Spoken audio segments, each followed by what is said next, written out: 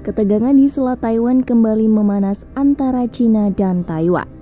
Kali ini Taiwan menuding blokade yang dilakukan Cina akan dianggap sebagai bentuk perang.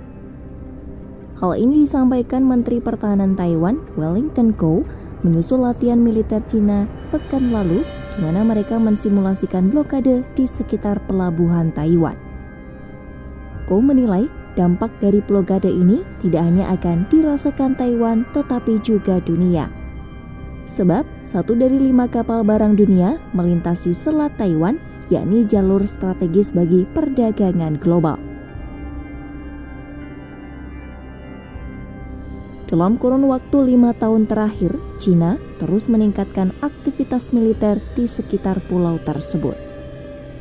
Dalam latihan terbaru yang mereka sebut Joint SWORD 2024B, China mensimulasikan serangan di laut dan darat serta menargetkan beberapa pelabuhan utama.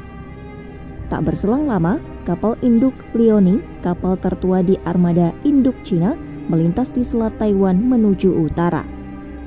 Kapal itu bergerak melewati kepulauan Peratas, wilayah yang dikuasai Taiwan di Laut Cina Selatan, sebelum berlayar di sisi barat garis median Selat Taiwan, garis batas tidak resmi yang tidak diakui oleh Beijing.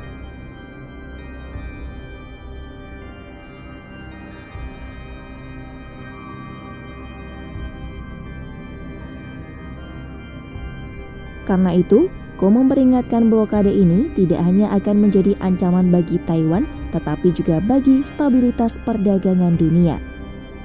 Amerika Serikat dan sekutunya seperti Kanada, Jerman, dan Inggris secara rutin melintasi Selat Taiwan untuk menegakkan kebebasan navigasi. Namun tindakan ini sering memicu kemarahan dari Beijing yang mengklaim yuridiksi penuh atas perairan tersebut.